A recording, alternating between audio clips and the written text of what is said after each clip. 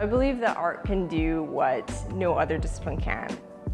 My journey of making this body of work was therapeutic in a way. It was healing and it allowed myself to come to a place where I could understand myself better, know what I needed, and then move on.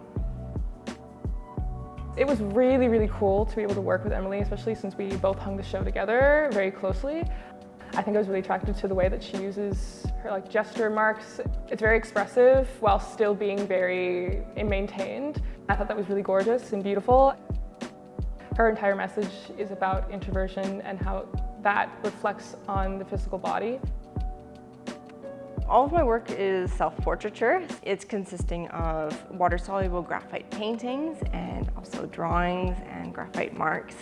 A lot of it is about physical symptoms as well as intangible parts such as emotions and thoughts that I depict with abstract marks. And in this body of work, I am considering both negative and positive symptoms of being an introvert, and that has brought me to the point of wondering, is my introversion being considered an illness, something to recover from? Is there a cure?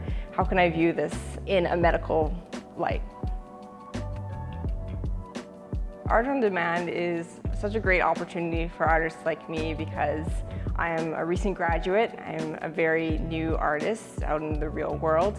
And it's a very non-intimidating process actually. You're working with a student curator as well. So you're both kind of learning together and it's the perfect opportunity to get your work out there.